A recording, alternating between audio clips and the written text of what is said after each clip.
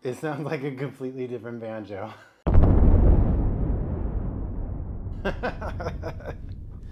hey everybody, my name is Mark. Welcome back to 2000 Hours of Banjo. Probably the best setback I've had so far. Uh, also frustrating as well. I had to change something, something that my instructor spotted uh, the other week, and I had to change my right hand position, and it really has changed the sound of this banjo for the better. If you will just um, humor me for a bit and try closing your eyes. Now, I don't know if my microphones are all set up properly because now this is playing so much louder, or I'm playing it so much louder but close your eyes for a bit. I'm going to play something and then I'm going to play it again two different ways. So let's see if I can do it uh, the first way.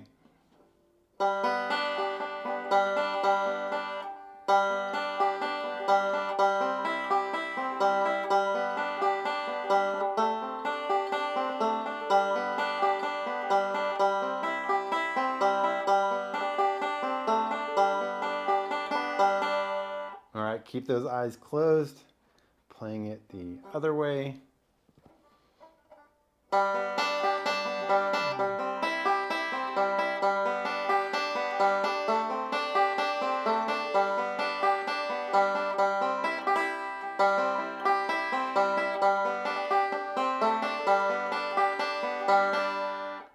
Can open your eyes. Hopefully the microphone's picked up the difference in the sound and picked up my mistakes, which is part of the frustration of what's going on, even though I really appreciate this setback.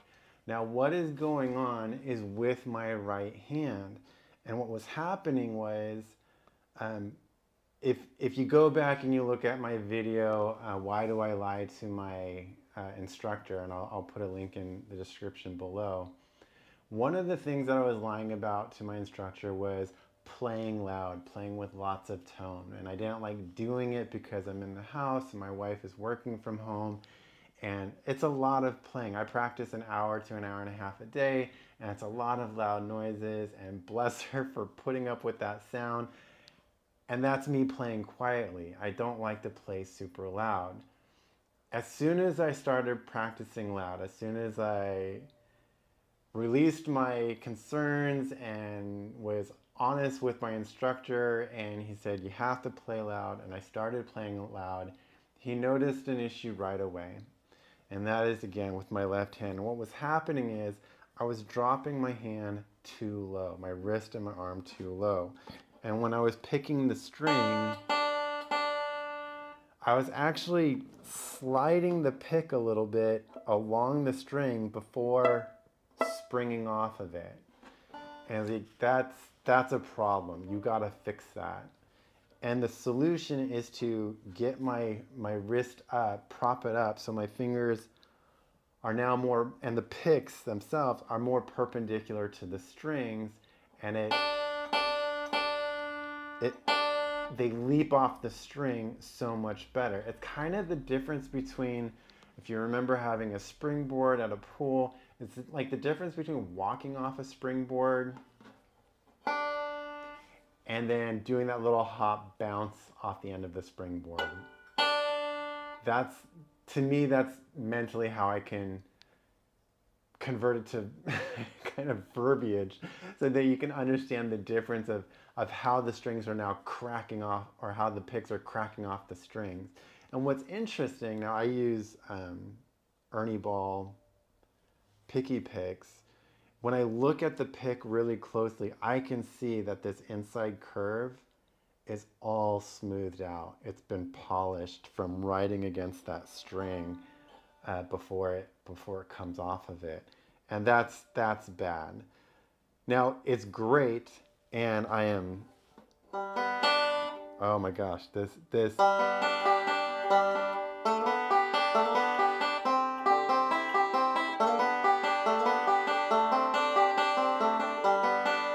It just it just sounds so much better. I, I I'm in love with it. It's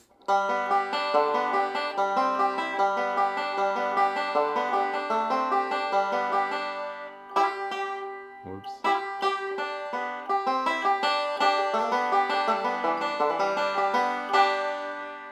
But what you're hearing also is a ton of mistakes. My, my, my right hand, my fingers are catching other strings. The, the tip of the pick is catching underneath the string and it's trying to pull or rip the, the pick right off my finger. So here I go again, right? I'm I, I'm in the position where I have to relearn to play all my songs again. And this is a total bummer and it's incredibly frustrating. And I'm and I'm apparently this is normal. or maybe it's not. My instructor says it's normal. So or maybe he's just lying to me now and trying to comfort me from having to basically start over again. I feel like I'm learning all these songs that I've learned a hundred times over. I'm learning how to play it. I'm learning the strings and I'm learning the fretting. Then I stand up and I got to learn it again. Then I play outside, then I got to learn it again. Then I'm facing the sun, I got to learn it again. It's hot, I got to learn it again. It's cold, I got to learn it again. I injure my finger, I've got to learn it again. I stop playing for a couple months, I got to learn it again. And now I have to relearn my right hand. Now, what sucks is that I've been taking my right hand for granted on a lot of these songs. I don't really focus on it. It kind of does its thing. It's it's very weird. This is this is something. This is that muscle memory, and boy, is it strange. But I don't even think about the right hand. It just does its thing, so I can focus on my left hand and make sure I'm fretting properly. But now I have to think about the right hand because it's positioned differently. Even just a, a millimeter or two off is throwing the picking off on my right oh. hand. And now I'm focusing on the right hand and the left hand, and I'm making a ton of mistakes. So, guess what I got to do? Again, I got to slow things down, bring it all down.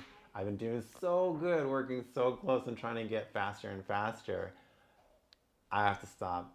I have to slow down. I have to relearn my right hand for all my songs to get that down so I can forget about it and take my right hand for granted again, then work back up on the speed, but now with nice, good, clean picking instead of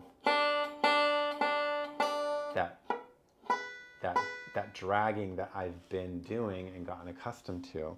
And I noticed that when I practice, when I'm, I'm doing my practice, that the arm starts to drift down and I start sliding the picks again and I have to catch myself and pull it back up. As long as I keep catching myself, as long as I keep pulling it back up, eventually I won't be dropping it and I'll keep it be keeping it in the upright, nice nice perpendicular position and it'll just feel so much better and sound so much better. Uh, it's particularly noticeable in um, Will the Circle Be Unbroken.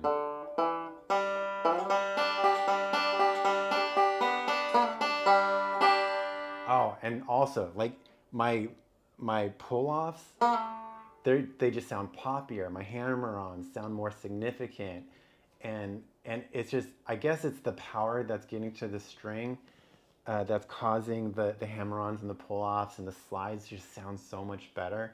So again this is this is a great setback but a setback nonetheless. So if, if you're new like me if you're going through the learning process of learning a new instrument man, I tell you, the first year they say that only 10% of people that say pick up a guitar um, actually continue playing it after the first year. The second year's been rough. It, I, again, I haven't learned many new songs. I feel like I'm suffering a lot of setbacks, but my understanding is that these are necessary setbacks. I'm still learning how to play this instrument, how to get good sound out of it not just learning songs, but learning how to actually utilize and get the most out of this instrument. And I gotta tell you, I'm a little happy that my ear can pick up the significant difference. Hopefully the microphones can do it some justice, but my ears can pick up the difference. And my instructor says that's a really good thing that my ears are noticing the quality of the sound coming off of the banjo has improved when I improve my hand position and my picking on the actual instrument. So that's good, that's a positive but still, it is a setback. And again, I have to learn Boil Them Cabbage Down again, Cripple Creek again, Cumberland Gap, all the songs, gotta relearn them. And then we'll move forward again. I wish I could just say I'm giving you new songs, but that's not gonna happen. back to the drawing board on a lot of these songs. Okay, some other things. Um, I have, I have this. I bought these. Okay, this, these are just mini whiteboards. I'm using them for a couple of reasons. One, I'm using them for cue cards behind the camera, so I know what the heck I'm talking about. But also, these are cue cards to help me remember what I should be focusing on for the week. I meet my instructor on Thursday. He, we go through our, our lesson. He tells me, okay, focus on these things for the next week. And typically, I've been using like this this college log book um, to to keep my notes and stuff like that. But what ends up happening is I, I write it down and then I put it down and then I don't pick it up again. And it's not on the top of my mind when I'm practicing what the things I'm supposed to be focusing on are. So that's what the whole point of this is. With this, I can keep it on my music stand. It's right there, constantly reminding me exactly what I need to be focusing on. Come next lesson, wipe it off, put the new stuff that I need to focus on, and I'm good to go for that week focusing on the right stuff for the following week. I'm going to take my picks off because I don't think I'm going to play anymore uh, for today. If I do, I'll just throw them back on. The next thing that I'm, I've, I've worked on is I've reorganized my binder. One of the things that I've noticed, especially when I'm trying to learn a song, now I, when I learn a song and I've got it memorized, I close the binder and I don't really look at the tablature anymore. However, when I'm learning a song, what I've been doing is I've been printing out the tab, stapling it in the corner, throwing it into the binder. And I thought that was good, but it could be better. What ends up happening is I have to get to the bottom of the page, I have to flip the page, and then I have to use these little, these little props to try to hold it up. Sometimes the, the staple rips out and it's, it's awkward because if I need to go back, I gotta flip back and, and so forth. And so what I decided to do was A, I bought dividers um, and then I bought page protectors.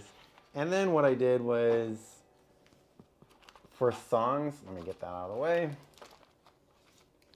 I put them in on opposing sides of the page. So um, the first two pages, I don't have to flip a page. I could just read down the page. Once it gets to the bottom page, I can pick up the song right there and move on. By the time I get to the bottom of the second page of a song, it's it's pretty much repeating other parts of the song, so it's not as necessary for me to make sure that the end of this page is visible with the following page. If it goes on to page three that is. Most of them do not for the, at least the fiddle tunes that i'm working on.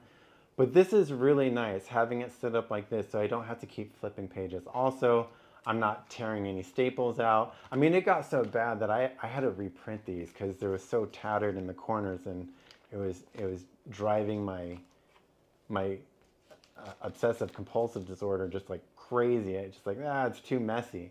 So I've done that, and then I have a divider for each different type of song for now. Obviously, at some point, I'll have to get a bigger binder or other binders and so forth. But this, I think this is going to work pretty good for now. So that's the system I'm working with.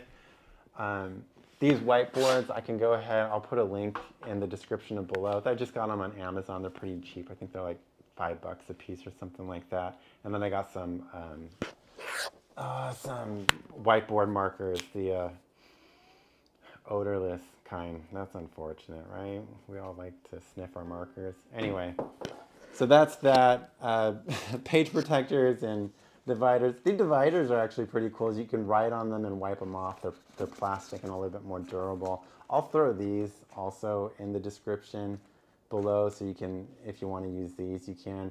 Page protectors you can find anywhere. I'm, I'm not going to put that in the description. Anyway, so that's just about everything. And then one more nugget actually that I learned.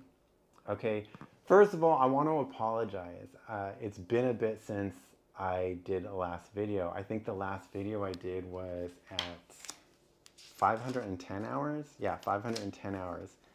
We're at now 530 hours. So it's been 20 hours since the last time I did a video. I apologize. My lab is in audit week. We got the big external audit. So I've been prepping for that audit. We're doing the audit now. Um, and that's taken a lot of time. I've been getting practices in um, but I just haven't had the time to do a video until today. So doing a video today, I apologize for the lack of videos over the past few weeks.